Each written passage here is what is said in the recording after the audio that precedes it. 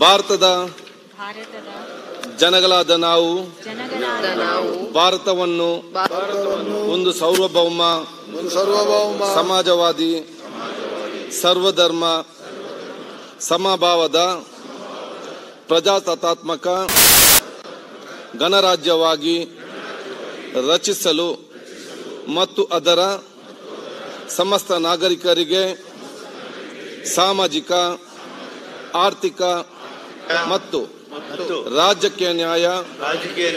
ವಿಚಾರ ಅಭಿವ್ಯಕ್ತಿ ವಿಶ್ವಾಸ ಧರ್ಮಶ್ರದ್ಧೆ ಮತ್ತು ಉಪಾಸನ ಸ್ವಾತಂತ್ರ್ಯ ಸ್ಥಾನಮಾನ ಹಾಗೂ ಅವಕಾಶ ಸಮಾನತೆ ದೊರೆಯುವಂತೆ ಮಾಡಲು ಮತ್ತು ವ್ಯಕ್ತಿ ಗೌರವವನ್ನು ರಾಷ್ಟ್ರದ ಏಕತೆಯನ್ನು ಹಾಗೂ ಅಖಂಡತೆಯನ್ನು ಸುನಿಶ್ಚಿತಗೊಳಿಸಿ ಅವರಲ್ಲಿ ಭ್ರಾತೃತ್ವ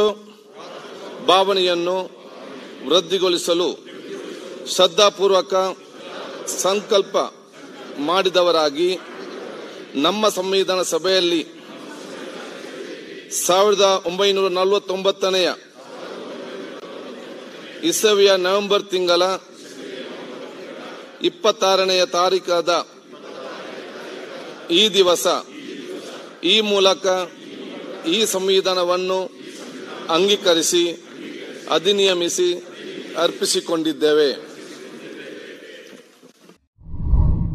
ಮತ್ತಷ್ಟು ವಿಶೇಷ ವಿಡಿಯೋಗಳನ್ನು ನೋಡಲು ಮತ್ತು ಹೊಸ ವಿಡಿಯೋಗಳ ಬಗ್ಗೆ ತಿಳಿಯಲು ಈ ದಿನ dot com YouTube channel subscribe ಮಾಡಿ ಮತ್ತು ಬೆಲ್ ಐಕಾನ್ ಕ್ಲಿಕ್ ಮಾಡಿ.